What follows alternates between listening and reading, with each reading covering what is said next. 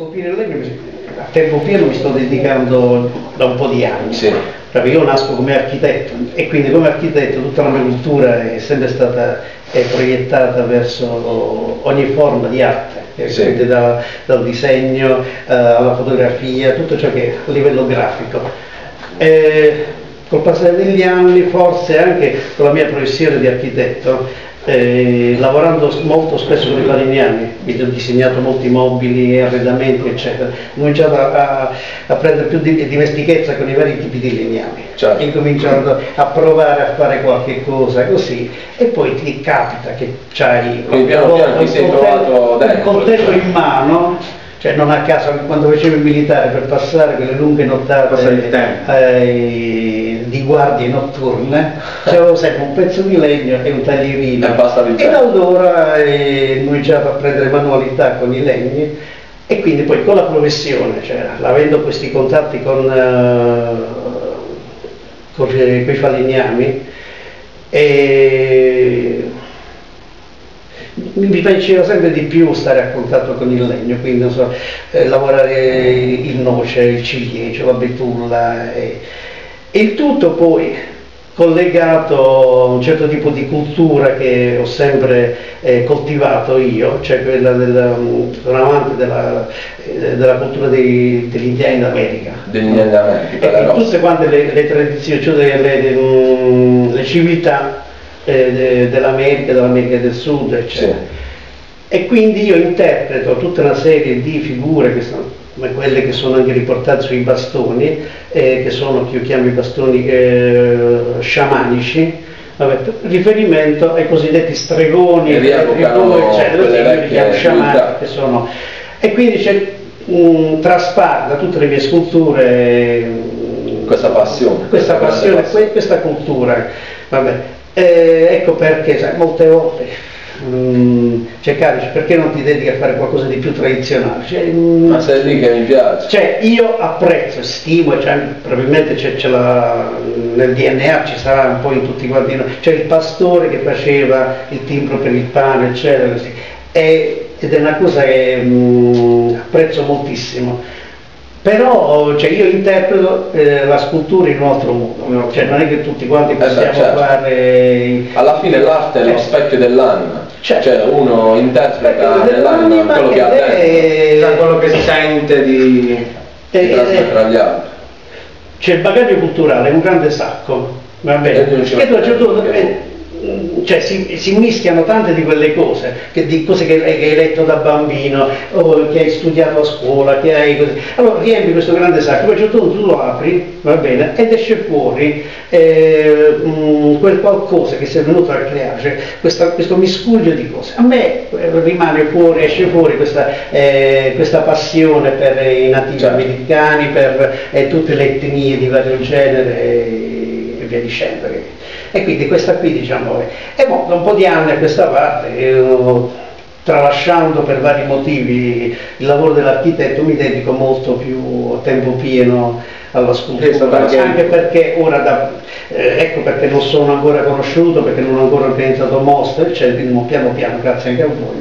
Vedremo. Eh, no, no, Quindi il termine importante. esatto di, questo, di quest'arte si chiama scultura del legno. Scultura, proprio scultura esatto. del legno, che non è niente a che Non c'è nessun eh, altro con termine. l'intarsio, Non ha niente a che vedere con l'intarsio. Con l'intarsio, Cioè tipo io so di, quei, di quegli intarsiatori che stanno su alle Alpi, di, dalla, nella- da- come si chiama quel... um, Himalaya.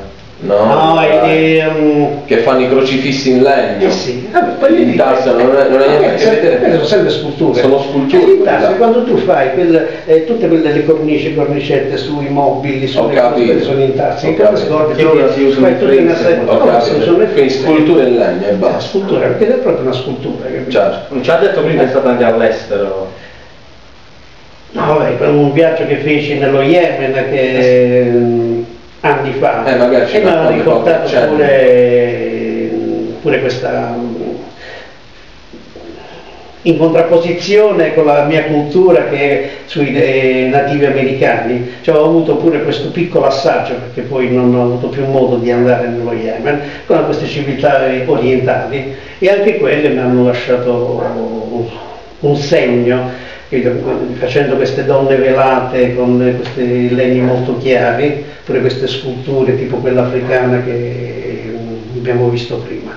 E, però ecco, diciamo quello è stato un cenno, quello lì della, eh, della della civiltà orientale. Cioè, è stato un modo per sperimentare una nuova cultura, diciamo così. Certo, no vabbè, ma um, riscontri in certi eh, tipi di civiltà, che io chiamo civiltà che, che, vivono in situazioni estreme, chi vive nel deserto, oppure chi vive uh, in Perù a 5.000 metri di altezza, cioè vedi popolazioni che vivono in, uh, in situazioni estreme, ecco, dire, gli esquimesi, eh, gli Inuit, il popolo Inuit che vive al Polo Nord, quelli vivono in situazioni eh, estreme.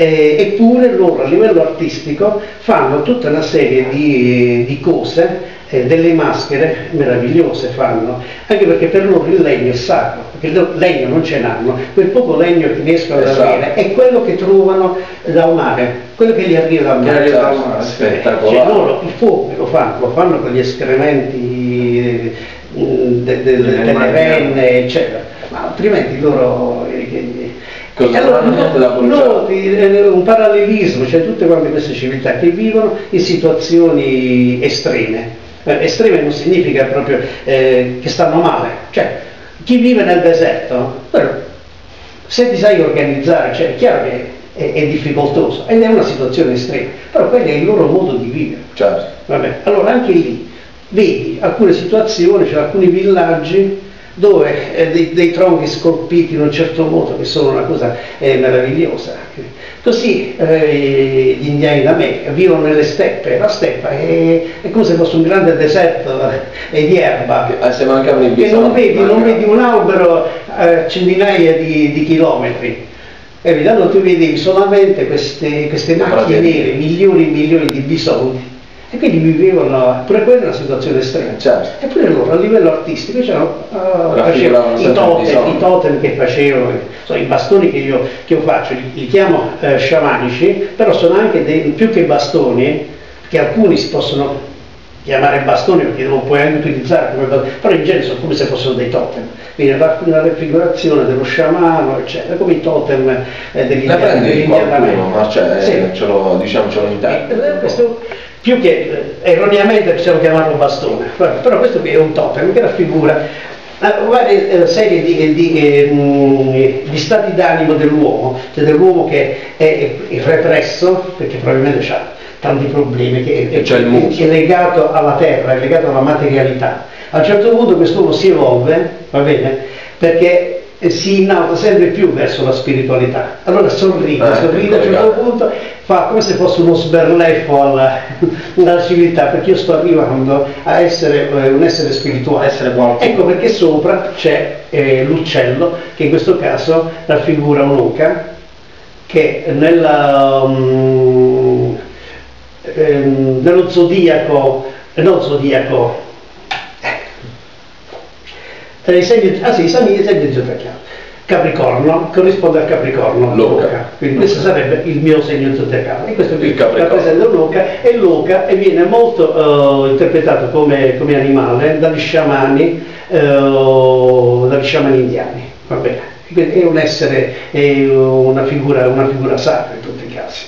E quindi questa qui è una, una mia interpretazione. Bellissima, veramente. Ma lo stesso concetto, cioè dell'innalzarsi dal, dall'essere materiale alla spiritualità. È lo stesso identico concetto dei, eh, dei buddisti nel Tibet, che quelli che fanno gli eremiti, vabbè, che si vanno a rinchiudere in una grotta, non, vivono, non vedono nessuno per anni, si cibano di orzo e tè, va bene, per cosa? perché si devono innalzare? Innalzare spiritualmente. Eh, questo, è, certo. questo è tutto. Eh, quindi. E queste basi invece le crei sempre tu oppure Sì, sì, no, questo qui è, un, è, è, una fetta di, di, di, tronco di olivo, infatti vedo tutte quante le, questo è olivo.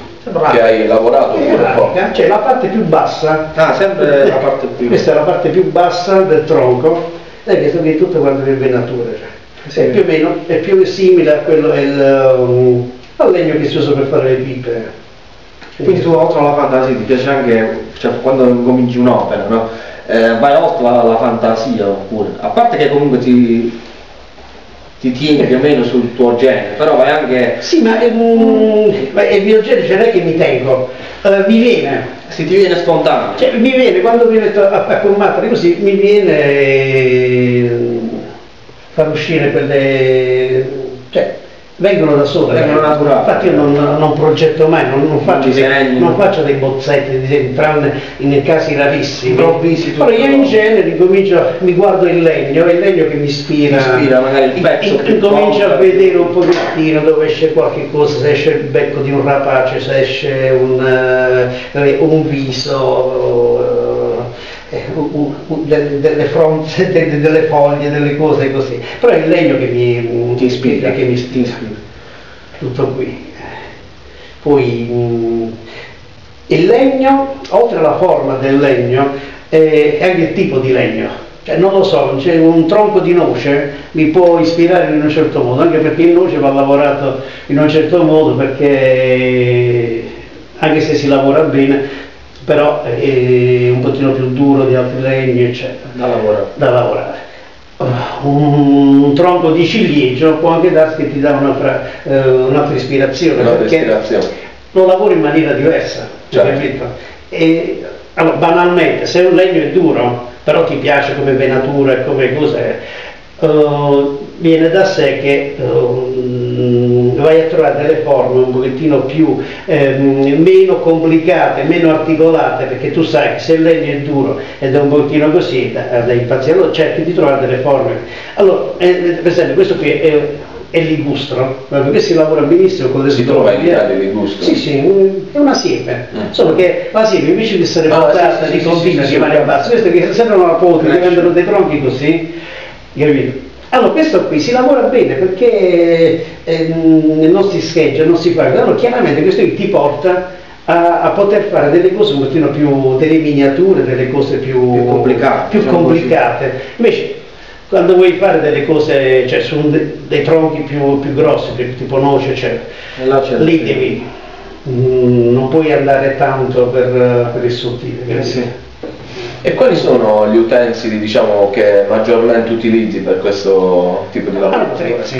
Scalpelli, ah, martello di gomma, martello di legno, eh? Perché martello di gomma e non un martello normale? Un martello normale eh, te lo sfibra il legno.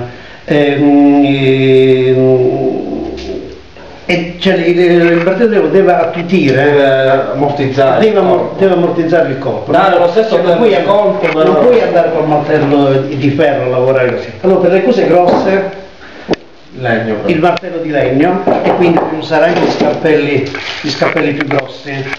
Vabbè. Con gli scalpelli di, eh, di grandezza media vai tranquillamente con il martello di gomma. Poi dipende da quello da lavoro che devi fare. Se hai bisogno di molta più forza devi vai con questo qui. Vabbè, anche se di, di gomma ci sono dei formati anche maggiori. Queste qui per, per il grosso, poi ci sono tutte le varie tipi di sgorbie, vabbè, che servono per rifinire tutta quanta le cose più delicate. eh, le raspe per eh, raspare Un contorno di qualcosa. eh sì, beh, chiaramente cioè, quando tu vai a scolpire, cioè vedi questa qui. Allora, qui è già passato con la raspa ed è già abbastanza liscio. Qui vedi, Più- e qui è ruvido perché c'è ancora il segno del- dello scalpello.